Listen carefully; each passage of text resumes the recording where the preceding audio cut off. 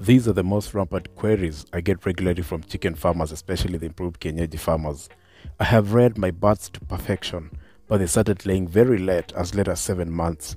Others will say their birds are not gaining weight as expected despite adequate feeding. All the above concerns lead to immense losses by farmers who always find themselves helpless. Farm Ent feels your pain.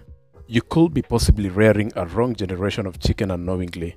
Ever heard of the terms F1, F2, or even F3? I will avoid being very technical on this to ensure you understand today's topic that is breaking havoc among smallholder farmers in Kenya and across Africa. Inbreeding and negative crossbreeding in chicken is rendering the poultry venture profitless. There is a genuine need for timely intervention by the relevant breeding and policy regulators.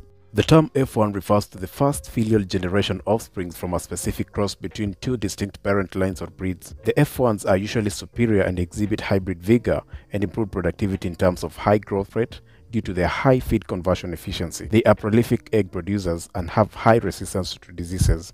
On the other hand, F2 refers to the second filial generation which is as a result of breeding the F1 individuals. The F2s are less superior to the F1s in terms of productivity. Most of them exhibit slow growth rates and reduced egg production. They are mostly produced by non-certified hatcheries and farmers. There is an urgent need for regulation. Some farmers go as far as breeding the F2s to produce the F3s, thus further diluting the productivity of the chicken. Ensure you question the source of your day-old chicks. For commercial production, where inputs are highly costed with an expectation of profitability, F2 and F3 chicks are not recommended as they are less productive, hence fetching low margins. Policy and market regulators should protect farmers from falling prey to inferior generations of chicken. This is where the involvement of experts pays off. The non-certified farmers hatching F2 and F3 chicks should be regulated so that there is a clear information and farmers dealing with subsistence farming become their targets. F2 do well in subsistence production. Let me put this discussion of F1 and F2 into a context analogy that you can relate.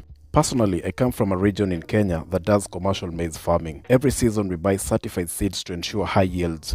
We do not use the harvested maize as seeds for the new season. What do you also want to breed F1 chicken to F2 and expect excellent production? Reflect on that.